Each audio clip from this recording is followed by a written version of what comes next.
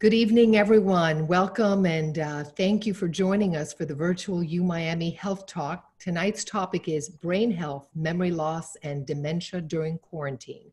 I will be your moderator for this evening, health journalist Ileana Bravo. We're very happy that you're with us this evening. Um, and of course, tonight's U Miami Health Talk is presented by U Health Virtual Clinics because U Health's expert providers are ready to care for you, whether it's in our facilities or virtually, it's wherever you are.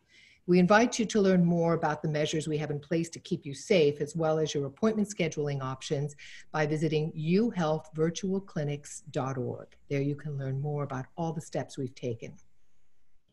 Tonight, we're going to hear from U Health physician expert Dr. James Galvin. Dr. Galvin will present on brain health, memory loss, and dementia during quarantine. He will differentiate healthy brain aging from early memory loss and dementia, discuss how COVID 19 and social distancing has affected people with memory loss and dementia, and he will describe steps you can take to improve your brain health. Now, we remind you that we are going to poll the audience uh, on questions relevant to our discussion tonight, and we invite you to be interactive and participate uh, by answering the multiple choice questions.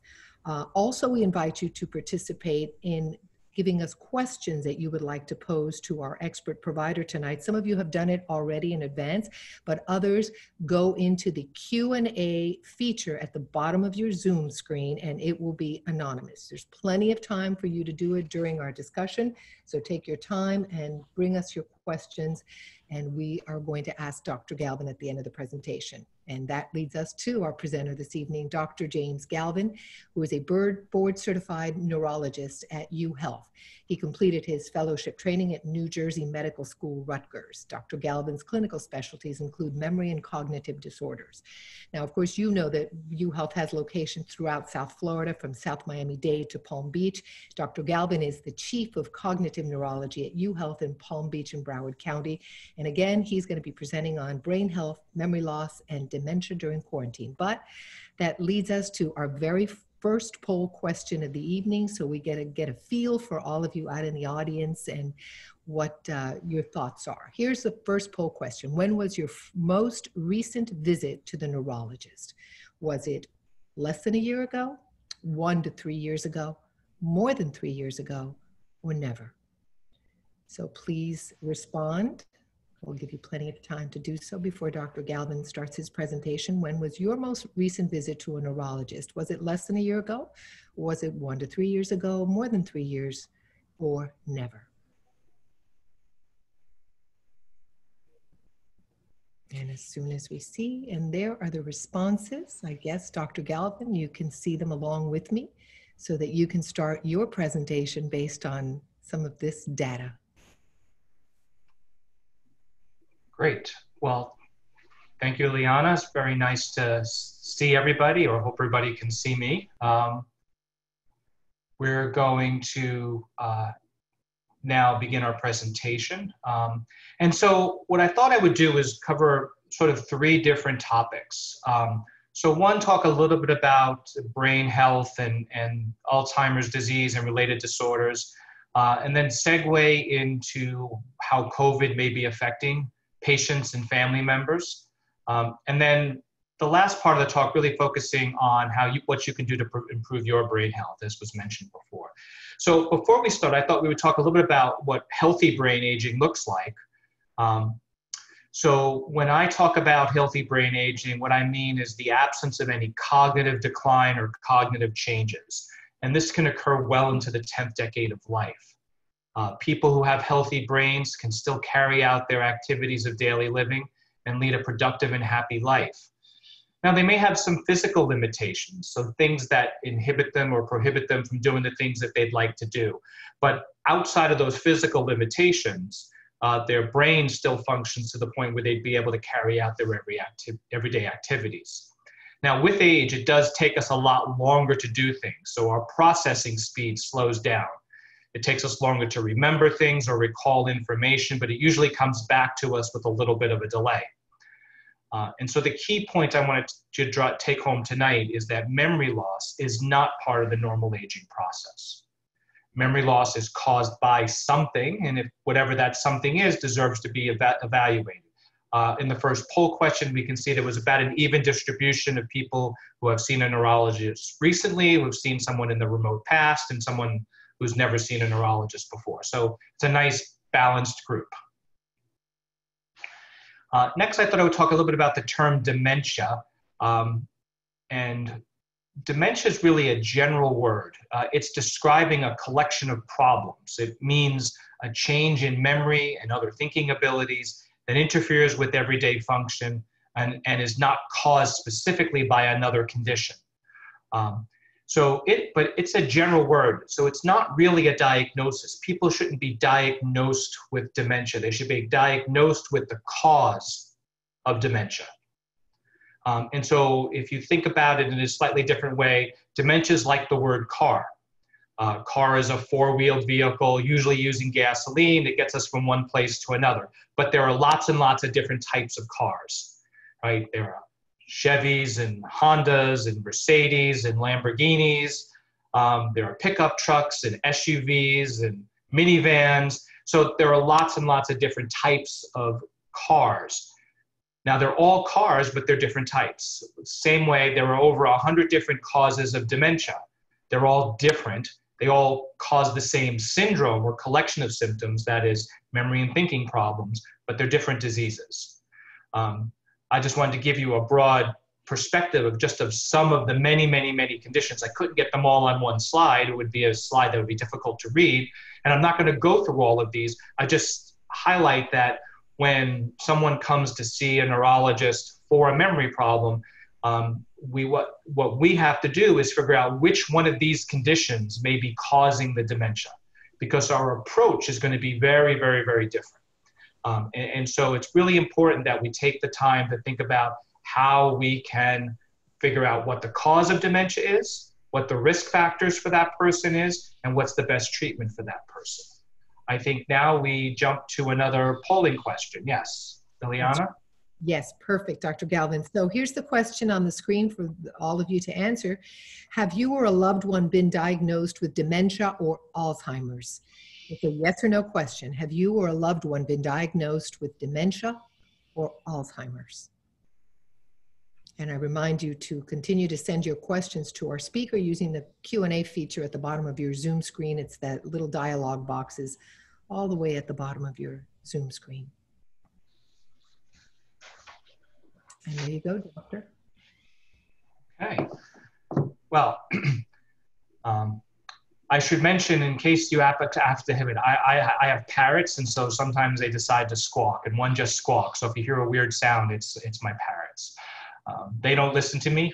My children don't listen to me, but my parrots really don't listen to me. Um, so we talked about healthy brain aging. We talked about dementia. Now let's talk about the most common cause of dementia, and that is Alzheimer's disease.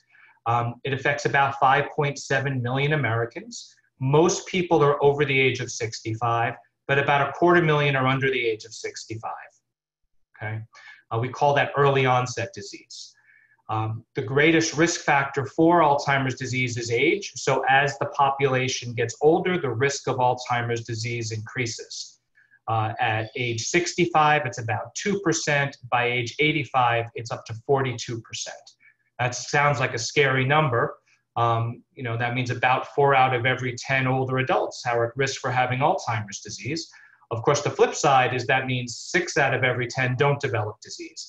And so we're going to talk at the end of the talk about what you could do to protect and protect your brain and try to reduce, you know, reduce your risk of Alzheimer's disease.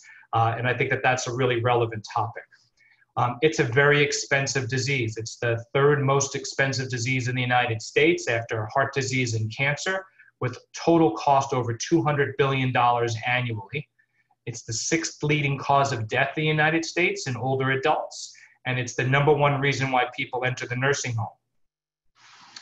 Um, and the median cost of nursing home care today approaches almost $100,000 a year. So um, it's really a disease that not only affects the patient and the family, but affects society as a whole because of the cost that uh, the disease uh, uh, brings about. Um, this is really relevant in Florida.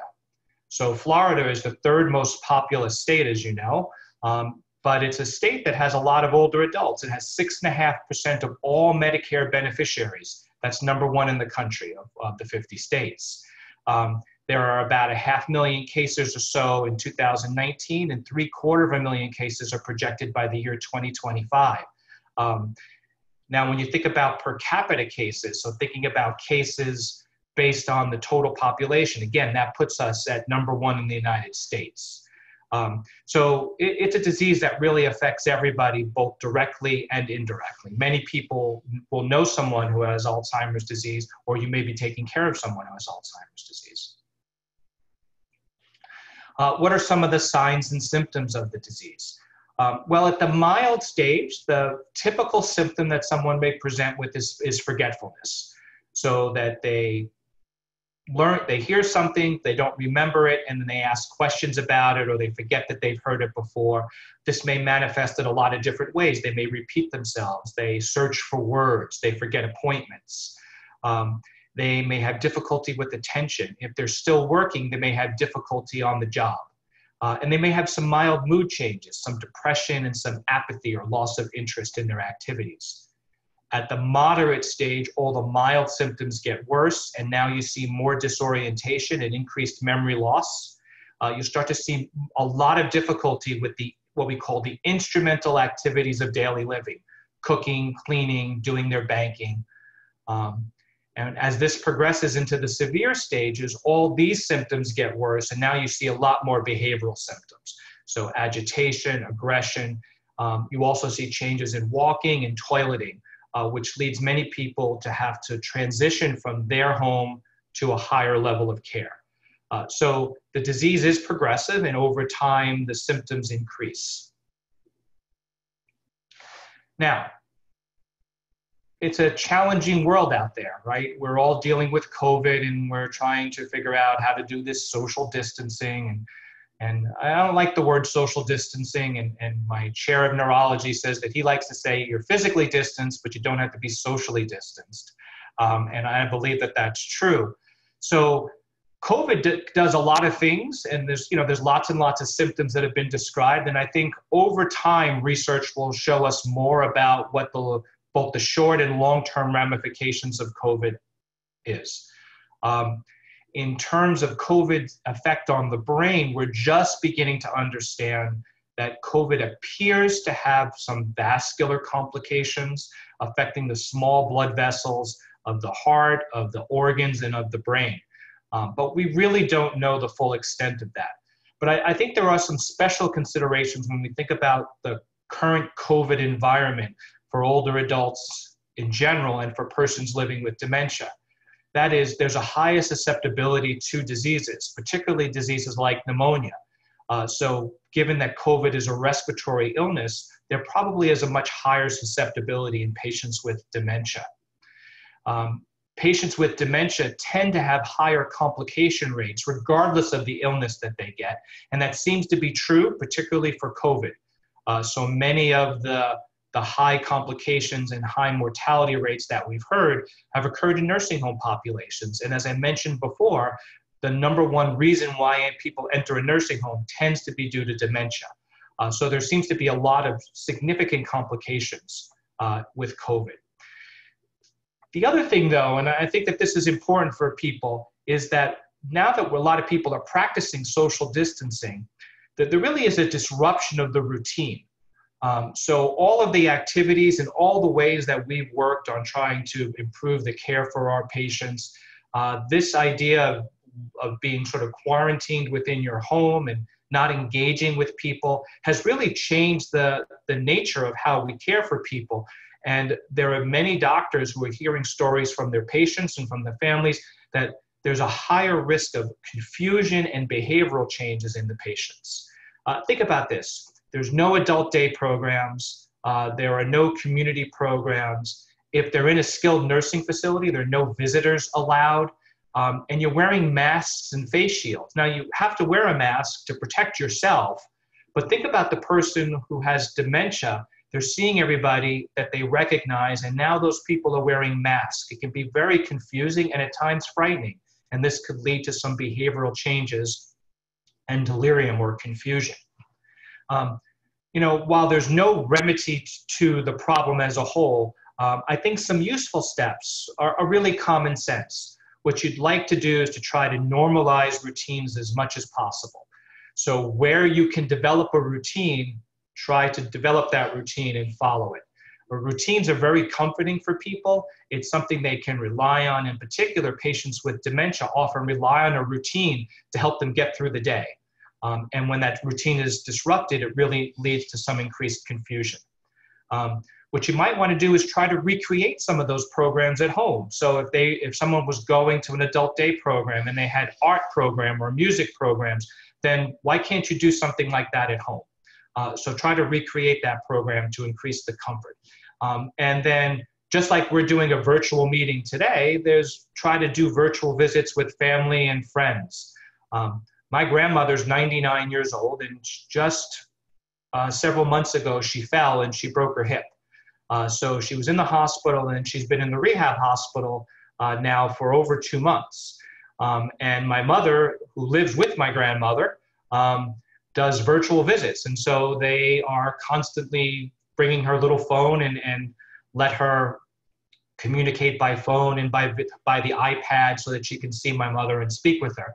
Uh, because my mother can only go to the nursing home twice a week for 15 minutes and has to be behind a plexiglass uh, window. Uh, so for my grandmother who lived with my mother, this is a big change. Uh, so one of the ways to address it is to try to think about how to changing that. And these virtual visits, I think, can play a big role. Um, so as we shift now to think about what we can do to protect our brains as we get older, and that's going to be the focus of the rest of our talk, um, I think it's important to understand the things that put us at risk and the things that may protect us. Um, and there are things we can modify, and there are things that can't be modified. So the things we can't modify are things like age, sex, and family history. So you, you can't change those things. Um, and, and, so I don't worry about those things in and of themselves. But there, we know there are a lot of risk factors for which we have at least some control over. Um, so people with low educational attainment and low cognitive activities are seen to be at a higher risk. People with an increased body mass index or obesity, people with diabetes, people with obstructive sleep apnea, uh, depression, uh, high cholesterol, high blood pressure, brain injury, uh, substance use, and hearing loss are all things that seem to increase the risk of Alzheimer's disease. Uh, what's important about these things is as that it is possible that we could do things to try to reduce the risk of disease. There are also things we now know that are protective. There are things that, and I'll show you some evidence for this, there are things that can be done that for people who are doing them, they seem to reduce the risk of developing dementia. So staying socially active, physically active, cognitively active, being mindful and eating a heart healthy diet. All these things can significantly contribute uh, to reducing the overall risk of disease. What's important about this is all of these factors that I talked about. When you look at the overall risk of people developing Alzheimer's disease, and you take away those things that you can't modify, about up to 40% of the actual risk are things that we have the possibility of modifying, changing, um, affecting by our behaviors, our lifestyle, uh, going to our doctor, controlling our comorbid diseases. So there are many, many different things that, that we can do to try to reduce our risk. So, so what can you do? What are some things that you can do? So the first thing is think about what we can do to try to improve our memory. Um, so one, we can write things down. Um, you know, if you write things down and make a list, you're much more likely to remember things. Think about if you have to go shopping and if you only pick up two or three things, you might be able to remember that. But if you need to do a major shopping for an event and you needed 50 different items, um, you're probably going to be more effective if you use a list. So just like we use a list for shopping, maybe we'd want to use a list for other things to help us. Um, using memo pads. Uh, so place them around the house at key places where you might look at them. Um, for example, in the kitchen, um, by the telephone if you still have a landline. Um, If you're old fashioned, you can use a, an appointment book. You know, got little black appointment book we used to keep in our pockets. Or if you're tech savvy, you can use a smartphone. Um, and you can create lists on your smartphone. You can use your calendar for reminders. So there are lots of different things that you can do to try to help yourself. Um, the other thing you can do uh, if you have to learn new information, one is to try to pay attention. If you're not paying attention, your chance of remembering something is really quite small. The second step is to rehearse and repeat. In general, if you can repeat something for seven times, um, you're much more likely to remember it. So if someone gave you a phone number, repeating the phone number at least seven times will increase your ability to recall that number. And another thing to do is to try to associate information with other things, what we call memory hooks. Um, so if you wanted to remember me, for example, um, you might remember me as a person that you heard a talk about dementia. So you could tie the name to the event and University of Miami, and those hooks make it easier to recall information. we could play games. So this was an interesting study done in New York a number of years ago, but I think it's still a relevant study. And I like this one because I think it, it, it highlights the types of things that people can do. So this was a study done in Bronx, New York, and they looked at people who played chess and checkers, backgammon, cards, uh, and they compared people who played games versus people who didn't play games. And, and there was about almost a twofold risk reduction in developing dementia. The people who played games had 1.6 less risk of developing dementia than people who didn't play games. Okay. So we have another poll. We have another poll question. Right, and that is Have you been isolated during the pandemic? This is one that so many of us can relate to. Have you been isolated during the pandemic? It's a yes or no, and please answer it on the screen you can tick the yes or the no some of you are going into the q&a feature to answer it there sorry if we confused you but uh, you should answer it directly onto your screen have you been isolated during the pandemic yes or no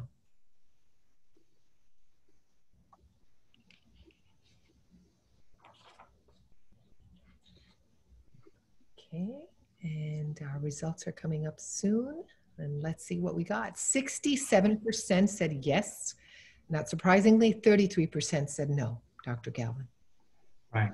So, you know, we, we talked about the isolation and the social distancing, the physical distancing. And so, you know, you want to think about things that you can do to try to protect your brain.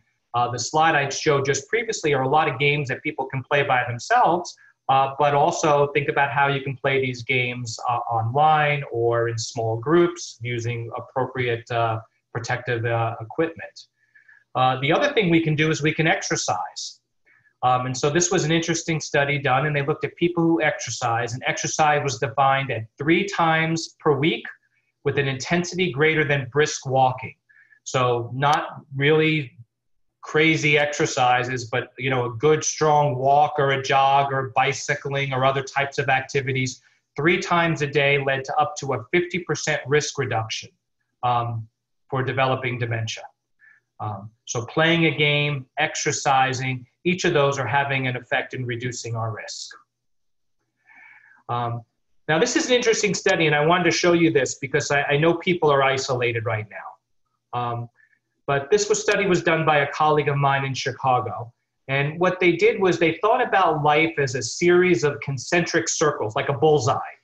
Um, and in the middle, the bullseye is your bedroom and then each circle is farther and farther away from your bedroom. So being on your porch, being out in your yard, being out of your house and in your neighborhood, being out of your neighborhood, being outside town. And what they found was people that crossed at least six zones in a week had a lower risk of dementia. Now, we're isolated right now, but think about what you did before COVID and think about what you're going to do after COVID and how you can figure out social engagement because that interaction and getting outside the home and interacting with the world not only seems to be fun, but actually may help protect your brain.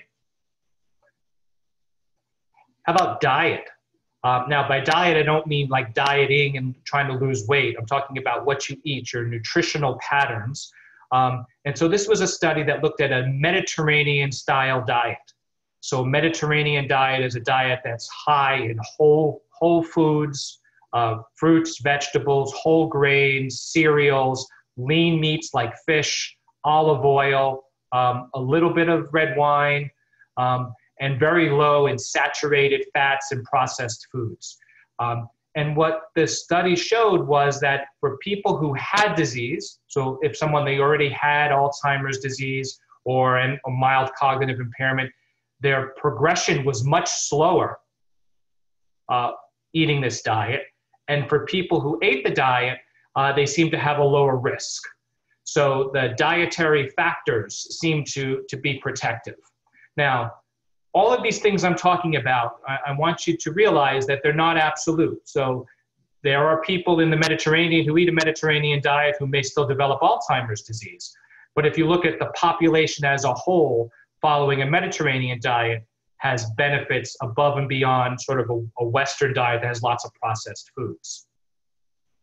Now you're saying, well, what happens if I do more than one thing? What happens I diet and I exercise? Well, not surprisingly, the benefits may be even greater. So if you looked at people who had no exercise and didn't eat a healthy diet compared to people who exercised and had a healthy diet, they had a much lower risk of developing disease. So combining these things is going to have a greater effect than doing any one of them alone.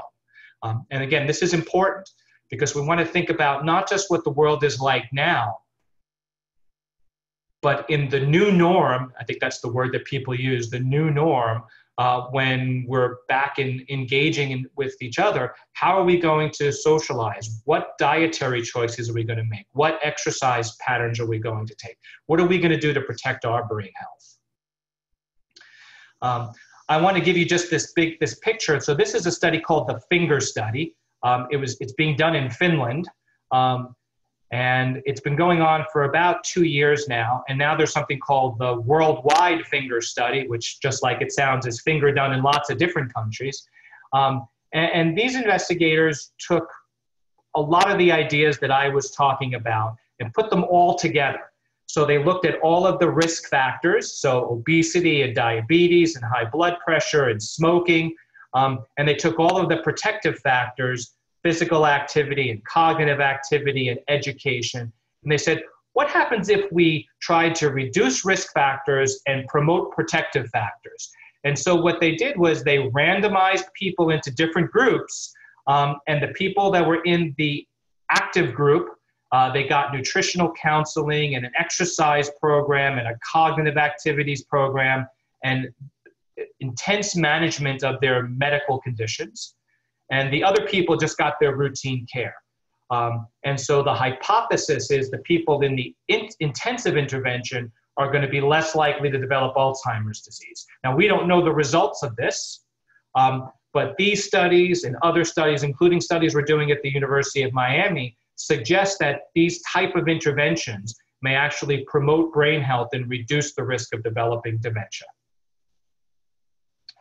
Uh, the program that we have at the University of Miami, we call the Healthy Brain Initiative. Um, and so this is a research program with volunteers who agree to come in for annual assessments. And, and when they come in, we do a very deep characterization. So it's called deep phenotyping. That means we try to get learn everything we possibly can about you. Uh, we do a clinical assessment and a cognitive assessment and a social assessment and a psychological assessment. Um, we look at your physical activity and your, uh, your diet. Um, and what we do is we try to create an individualized risk profile. So we look at you as an individual and try to figure out what are the things that put you at higher risk, what are the things that put you at lower risk, and develop an intervention that you can follow on your own, um, and then see if you're able to follow it right? And then we give you some guidance, but really the idea is that, you know, can you take this plan that's personalized for you and follow it? And that's a little bit different than the, what I showed you before, which is everybody gets the same plan and everybody does the same thing, and either you do it or you don't do it. Um, ours is more of a once is a more of a personalized approach where we're designing it specifically for you. Um, I wanted to show you just a little bit of the data that we've had so far. Um, and, and, so I know this is a busy plot. It's called the spaghetti plot. So each line is a different person. And there are three different types of people on the plot. In orange are people who came to us and they do not have any evidence of a dementia. In blue are the people who have very mild changes. And in green are the people who are already diagnosed with the dementia. And what we found was for the people who had no dementia, their memory was improving with these interventions. For the people who had mild memory changes, their memory was largely improving or stabilizing. For the people who already had dementia, they didn't improve. So while there's, there was some slowing in their cognitive loss, uh, they continued to decline. Um, and this also tells us that not only do we have to do these things, but there are windows of opportunity where they could be most effective. So coming into us when you're beginning to notice the very earliest signs of change, we're likely to do a lot more than if you come to us when it's at the moderate to some more or some more severe stages of disease where we can still help but the capacity of us to show improvement or stabilization is much lower. Um, so these windows are important and i think as we learn more and more about how we're going to intervene with people uh, we, we can try to improve upon these programs. There are other things we do. Um, so we've done programs to look at mindfulness and lifestyle. So this is a chair yoga program so these are people with Alzheimer's disease. Um, and they have various amounts of physical abilities. So some people need to use the chair to stabilize themselves, and other people can stand freely. So we've adapted yoga for older adults, and what we showed was a significant improvement in quality of life. Um, we did a program that we had to stop with COVID coming, but we hope to restart once uh, we're allowed to start interacting with people, looking at ballroom dancing. Um, so I don't have any results to show you, but there's a lot of evidence that ballroom dancing, with its really intense physical activity and its social engagement, may uh, improve brain function. Um, on August 24th, so coming up in two weeks, uh, we're doing a little worldwide event called Hula for Health. Um, and so we're having a worldwide hula uh, show um, and people are encouraged to film themselves doing hula and sharing it on Facebook. Uh, we have people uh, signed up from all over the world uh, to do this. Um, we've also looked at other approaches, so alternative medicine approaches. So this was an acupuncture study we did. So we looked at people with very mild cognitive impairment, and we conducted eight weeks of acupuncture. And what we showed was a significant improvement in cognition, in mood, in mindfulness and in overall physical performance. Um, so, you know, it's not just medicines. It really is thinking about lifestyle as a whole and how we can improve uh, what we're doing and who we are, really to become the best us that we can be. So, to summarize uh, our talk today, um, there are multiple ways that we can potentially be at risk for Alzheimer's disease. That sounds scary, but that means there are also multiple ways that we can try to treat, prevent, or cure the disease. Uh, there are a lot of clues out there, and we're just beginning to understand how we can maximize the information that we get and design plans that are specific for people. Uh, we have found, and many other people have found, that efforts to treat or prevent or cure may be much more successful if one, we really take a multimodal approach, not just say exercise, that's it is but try to think of you as a whole and think about all the problems and then also direct those programs at people at risk. Um, we think there's a number of modifiable risk factors that really are excellent targets uh, lifestyle, environment, comorbid disease, or coexisting disease. So we can think about Alzheimer's and related disorders are really diseases that occur over the course of a lifetime. So that means there are really ways that we can build a better brain as we age. Or to say it uh, more eloquently, um, an ounce of prevention is worth a pound of cure. It's Benjamin Franklin in 1735. Now, to be fair to Benjamin Franklin, he was talking about they should have more volunteer firehouses to try to prevent house fires, but I think it's still relevant for our brain health as well. Um, I showed you a little bit of research data. I just want to quickly acknowledge I, I, I, have the fortune of working with wonderful people, both at the University of Miami and at universities around the world, uh, and our efforts are supported by the National Institutes of Health and several private foundations. Um, if you'd like to find out more about what we do, um, you know, here's our email, um, healthybrain at miami.edu, um, and someone will get back to you. Um, with COVID right now, we're, we're still trying to figure out how to get our office all up and running. Um, so that's been a little bit of a challenge, is, is, is in many places. But, it, but if you'd like to find out more information or find out about scheduling appointments for either clinical care or for research participation, you know, please feel free to email us. Uh, I want to thank you for your attention. I think we're going to open it up for questions and turn it back to you, Liana.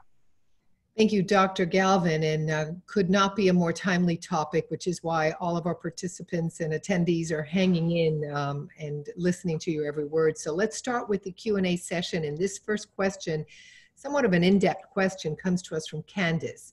I'm wondering if what we accept as a natural sign of aging is truly due to the physiological aging of our brains and biological system, or if we just assume it's natural because it happens often as people age. In short, is it just a correlation or is it a causation? If the correlation cannot be proven, then what are the causal root factors that contribute to memory loss and is there a remedy for them? That's a mouthful. Um, you know, so I'm gonna I'm gonna show you a trick. Um, so when when people get asked complex questions, what they usually do is they look at the camera and say, "That was a great question." Uh, and the reason we do that is we're trying to pause and formulate an answer. So I'll give you a little trick, um, uh, giving away a secret. Um, but what we know is that memory changes are not a function of age slow processing speed is a function of age. Memory changes are a function of disease. Um, and so we know that that is causative. It's not a correlation, it's causative. So diseases like Alzheimer's disease uh, have pathologies that begin 20 years before people have symptoms. Um, and over time, as that pathology increases, it causes a degeneration of brain cells. Uh, and when there's enough degeneration of brain cells, people have symptoms. Um, and so there's a direct relation, causative relationship. Um, what we don't know necessarily are what the root causes are of these diseases. What we are understanding more and more about are these risk factors, some of which are modifiable. So, uh, outside of age, one of the strongest risk factors for Alzheimer's disease is diabetes. Diabetes affects not only the sugar, which people tend to focus on, but actually affects all of the small blood vessels that feed the brain, the heart, and other organs. Um, and so, if you look at people with diabetes, they have a much higher risk of developing Alzheimer's disease. And when you look at their brains at autopsy, they have much more vascular pathology than people without diabetes. So, we're learning more and more every day.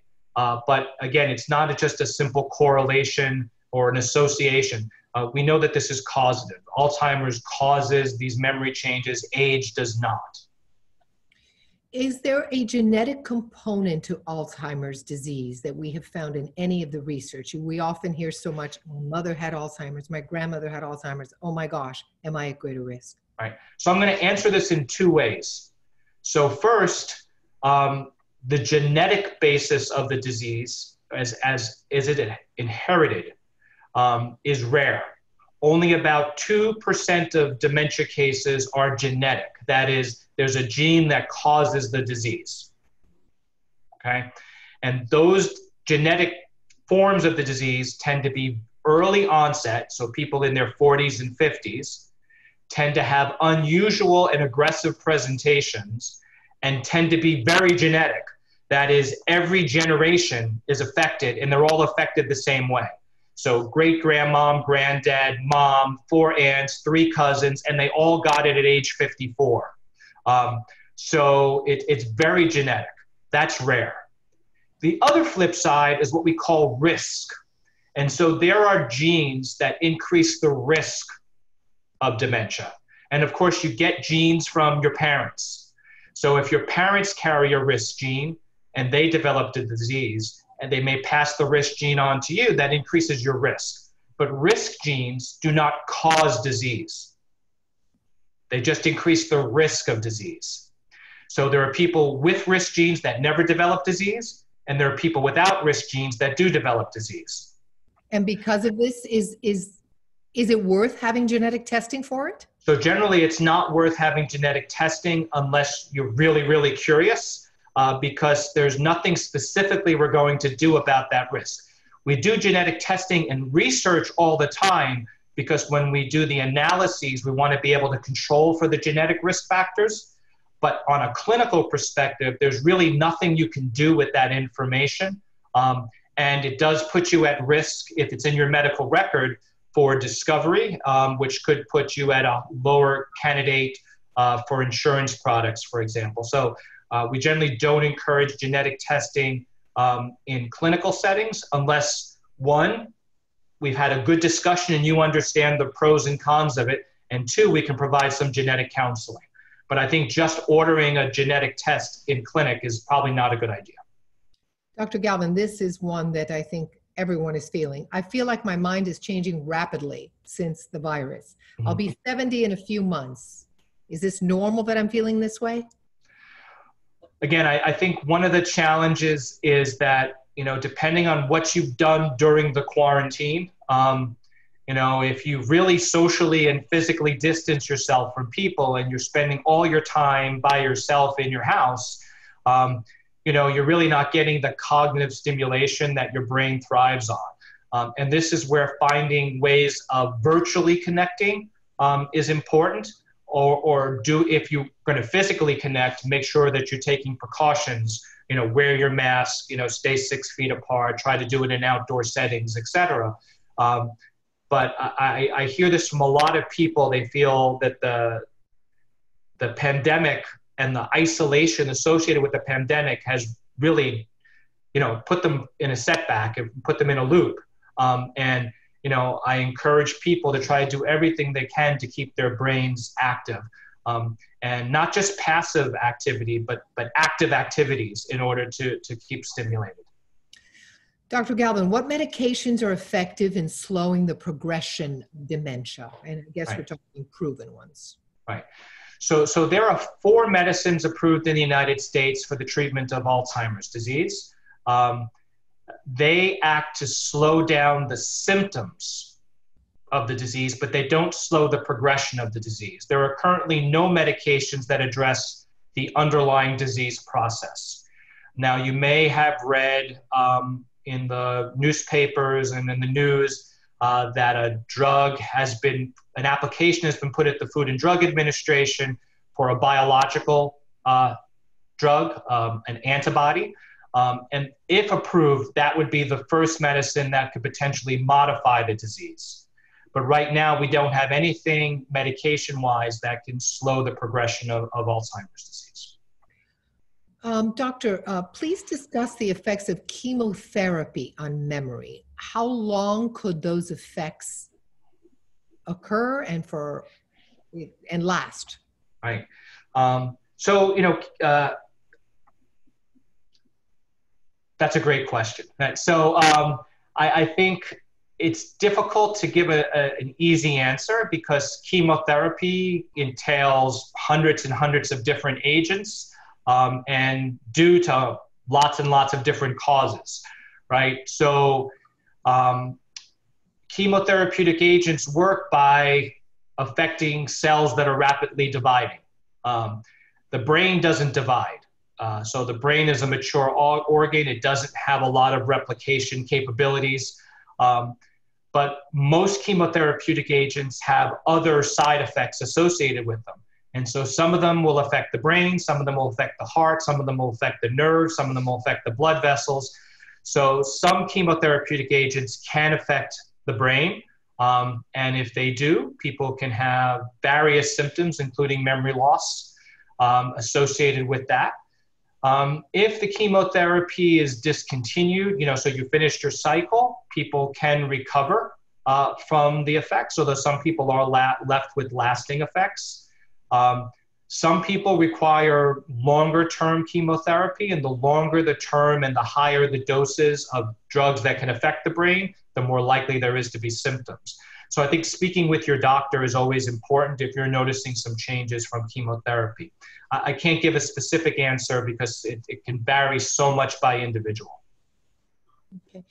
Um, this is one that um, we've heard, and, and this is nothing to do with politics, but what are the tests that can determine a diagnosis of dementia?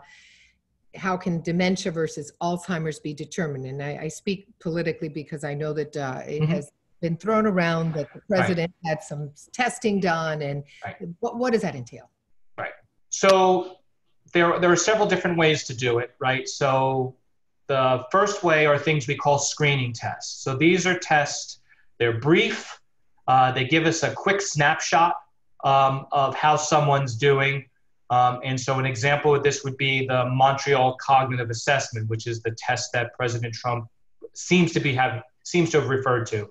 Um, these tests are designed as a quick screening test. Um, they're fairly easy, um, and so the idea is that we're not worried about how good you do. That's irrelevant. Um, what we're what we're interested in is if you don't do well, how well how not well you do. Um, so they're designed to pick up a problem. They're not designed to test how smart you are. Um, and, and, so these tests, you, the scores get lower if you have more problems. Um, uh, and so doctors can do these tests quickly in their office. They take five or 10 minutes, and it gives you a nice snapshot uh, of is there a risk of something? If the test is positive, that is, there's a, a lower score than expected, then that should trigger the next step, which is either your physician themselves could do a more detailed evaluation, or they could refer you to a specialist like a neurologist who specializes in brain health. Um, uh, and they could do a much more extensive evaluation looking to see one, is this a decline? Does it represent a dementia? And then, two, more importantly, what's the most likely cause? Is the cause Alzheimer's? Is the cause Parkinson's? Is the cause due to strokes? Is the cause due to medications? Is the cause due to other medical conditions? Because the treatment plan is going to be different for the different conditions. Um, so there's a screening step, and then there's the more detailed evaluation. This is a, a bit of a twofold question. So can COVID cause memory loss and dementia? And I know that you refer to the vascular changes and other organs that we still don't even know what COVID causes. And then here's the second part Is there something called COVID brain? And there has been some publicity about that. Right. So I'll answer the second part first. So, um, what we know is that in some cases, there have been some changes in the brain, particularly the small blood vessels in the brain associated, seem to be associated specifically with COVID. So some of the people who have died, who have all had autopsies, they've had changes in their brain that they've attributed directly to, to COVID virus. Um, so there appears to be a COVID effect on the brain. Um, this first part's harder uh, because it's very difficult to know exactly how someone's going to respond to COVID. And and if you've read any of the articles on COVID, I mean, just about every possible symptom that could ever occur in any condition has been attributed at, uh, to COVID. So everything from tingly fingers to loss of taste to memory loss to dizziness, etc. So you know it's always very very difficult to attribute something without more research. And so there are lots of people doing this now. There are lots of programs to try to study the effects of COVID. Um, I will say that if someone has COVID and they start to develop a memory problem, um, it's possible that the COVID could have acted as a stress test, right? So people had sort of underlying disease and they didn't, it wasn't manifest yet. Um, and then COVID was the unmasking event right? So think about this: if you go see a cardiologist and they're checking your heart and they put you on the treadmill and they you do a stress test and you're exercising and all of a sudden your EKG changes, um, that's a stress test. In other words, the exercise brought out the cardiac deficit. Um, well, COVID could be acting sort of as a brain stress test. Um, and so, in some individuals who have gotten COVID, they appear to now look like they have Alzheimer's disease. And it's possible that it wasn't directly COVID, but rather COVID sort of unmasking the, the event. So, but we don't know. The, the fact is, we just don't know yet. We're, we still need more research and more understanding of what's happening. Reference diabetes, which you have said is definitely one of the highest risk factors. Does it matter if it's type 1 or 2, if it's controlled, and then people all doing this keto based diet to cut down on sugar? Could that be helpful? Right. So, so diabetes is a risk factor. Um, people who are diet controlled diabetes don't seem to be at a higher risk than the general population. Um, if you require medications to treat your diabetes, either an oral medicine or insulin, it does put you at a higher risk of Alzheimer's disease. Um, the idea is to, uh, the tighter the control of your diabetes, the lower the complication rate of your diabetes. And that's been pretty well established for many, many years, back when I was in medical school. Um, and, and so you want to always try to reduce the risk of your complications associated with your diabetes. Um, but if you have diabetes, you are at a higher risk. Again, that doesn't mean you're going to get the disease, uh, Alzheimer's disease, but it just puts you at a higher risk. That means that you should do everything you can to make sure your diabetes is, is well controlled. Um, in terms of diets, things like keto diets, um, you know, there have been some small studies looking at the keto diet and memory, um, and it appears to have some positive effect on memory, but it's not a sustainable diet. So there are very few people who can maintain a ketogenic diet because, um, well, one, it's not a very tasty diet, and two, is it's very difficult not to take in, um, you know, carbohydrates. Uh, so the fat profile from taking a keto diet is not necessarily always favorable. Um, and there's carbohydrates are so rampant in everything that we eat, it does make it really difficult to maintain. Um, so in laboratory rats, it's very easy to put them on a keto diet, but it's really difficult to keep people on a keto diet for an extended period of time. Um, so, so it appears to have a, an effect in and of itself, but it's not maintainable for the most part. Right. So it, it couldn't hurt, but not for a, a long time. I would suggest the keto diet is not the way to go. If you want to do a diet uh, or dietary approach, uh, there's a diet uh, called the MIND diet, M-I-N-D uh, which is a combination of the Mediterranean diet and the DASH diet. So, a Mediterranean diet and anti hypertensive diet. And I think that's the strongest evidence. And the beauty of following a, a lifestyle diet like the MIND is you're still allowed to have a dessert, right? So, it's not dieting. We're not talking about dieting, we're talking about changing our lifestyle and our approach to food. That's right.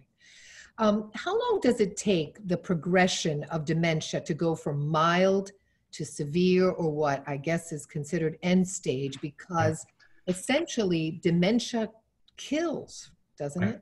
Yes. So Alzheimer's and all of the dementias are fatal diseases. Everybody, no one will survive their Alzheimer's disease at the present time. Um, it varies widely by individuals depending on how old you are when you get it, what's your general health, and what are your financial and social resources. So there's a lot of factors that come into play. Um, so there are very malignant, in quotations, looking cases of Alzheimer's disease that start to finish are three to six months. And there are cases that 25 years later, people are still alive. Um, in general, the median, so that's the 50th percentile, is about in the eight to 10 year range for the disease uh, from start to finish. But that's a ver- that has two very long tails at either end of that curve. Uh, and there's a lot of factors that go into it. Um, the healthier you are, the better you do. The more resources and, and social support you have, the better you do. Um, you know, the older you are, the better you do. The disease tends to be a little less malignant if you're very old when you develop it as opposed to when you're younger. But that may have more to do with when you're younger, you have more to lose uh, than when you're older in terms of um, some measurable activities. So if you were working and get the disease, you lose your job. It's a much more devastating disease than if you're 96 and not working and have a memory problem. So um, there are there are variations, and so it's very difficult to give a set number is um, a brain scan, a CAT scan, an MRI, are any of those screening tools helpful to detect dementia, Alzheimer's, etc.? So the work, the recommended workup for Alzheimer's and related disorders is to have an image of the brain, uh, preferably an MRI. If not an MRI, then a CT scan. The MRI gives us a lot more information, so it's much better, and we can see parts of the brain uh, uh, in much more detail on an MRI than we can see on a CAT scan. But if you can't do an MRI, if you have a pacemaker, for example, or you're very claustrophobic, or you live in an area where there are not MRIs, doesn't sound like that, you know, in Miami. But if you go out into the middle of the country, there are very far distances when you can't find an MRI.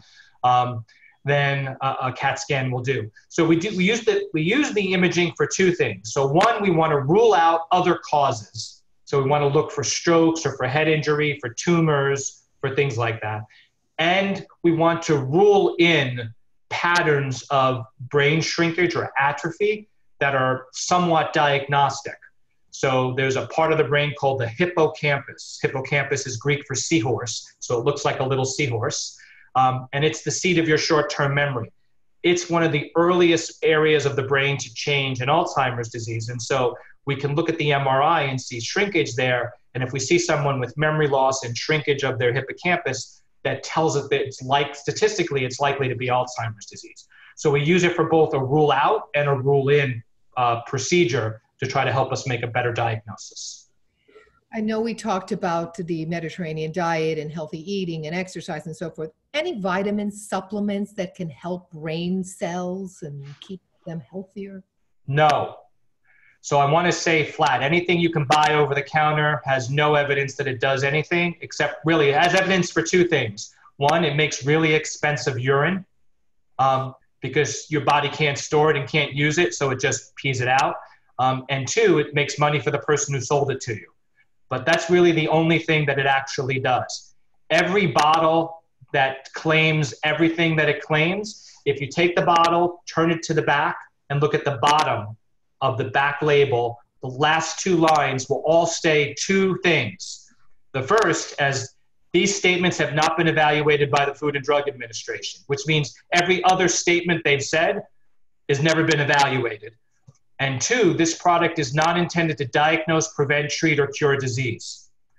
So if something is not intended to diagnose a disease, treat a disease, prevent a disease, or cure a disease, what's it for? It's for nothing. So none of those over the counter products have any benefit whatsoever. Now, in terms of vitamins, vitamins you can get from your diet if you eat a balanced diet. If for some reason you're, you have a restricted diet, then taking a vitamin might make sense. So, for example, if you're a vegan, vitamin B12 is really only found in animal products. So, if you're a pure vegan and you take no animal products whatsoever, you might need a B12 supplement. Um, if you're um, a woman, a woman, and you're still menstruating, um, you know, you may have periods where you have some iron deficiency anemia, um, and so taking iron supplements might make sense. Um, if you have a gastric problem and you have difficulty producing stomach acid, um, you might not produce enough intrinsic factor, which is necessary to absorb vitamin B12. So, in select cases, supplementing with vitamins makes sense. Um, if you eat a healthy and balanced diet, there's not a lot of need to take additional vitamins. Your body can't store B vitamins, so they're water soluble. So, you take a thousand units of Vitamin C, you're urinating out 990 of them uh, because you don't need it. I think the final question is the most appropriate one given this topic. And what is the best thing that we can do to support a friend, a family member, anyone we know in our inner circle struggling with dementia and memory loss right now during right. COVID? Uh, well, the first thing is give them a hug, right? If you can't give them a real hug, give them a virtual hug. Um, I, I, think um, we we as a society, not you as individuals, but we as a society, um, look at older adults with these type of problems, and we we we stigmatize them, we ostracize them, we treat them as something less than what they once were, um, and, and so I think you know giving people the respect that they deserve, showing them the love and affection that they deserve is is really uh, um, an under understated uh, first step. Um, two, what you can do to support them is make sure that they're properly diagnosed and that their disease is properly managed. Right. So I said in the beginning, dementia is not a diagnosis. you want to know what the cause of the dementia is so that you can plan appropriately. You can be on the right treatments and you can do advanced care planning. Um, so that's important to get a correct diagnosis. Then, three is that you want to manage all of the comorbid conditions, right? So, if you have Alzheimer's and diabetes or Alzheimer's and COPD, you're going to have worse outcomes than if you had COPD alone. So you want to make sure that you're managing all of those uh, conditions well uh, because um, they they interact with each other and the effect is more than additive. It's synergistic. So it's not one plus one equals two it's one plus one equals three. Um, and so getting good management of all of that. And third is uh, to think about the future. So do long-term care planning right? Um, have an advance directive, have a, prox- a healthcare proxy, have a durable power of attorney. Um, if you don't have a problem, think about whether you can afford long term care insurance, uh, things that can help you prepare for caring for yourself and your loved ones um, in the future. Um, and the last thing is seek out support.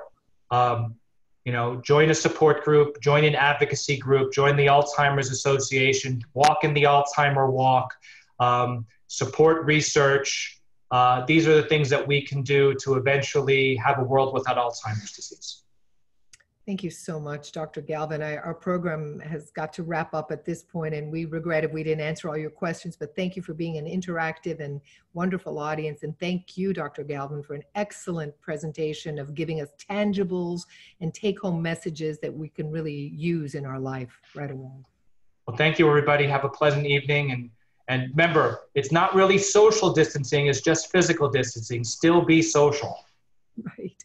And, and like Dr. Galvin, we you help appreciate your participation. Remember, we're here for you. So please don't forget to visit umiamihealth.org. And that way you can learn more about virtual in-person appointments with Dr. Galvin, with any of our providers and experts. And also please complete the survey at the end of this talk to give us feedback on your experience. We thank you for joining us again. Please stay safe out there, wear your mask, and have a great evening. Good night. All right. Bye-bye.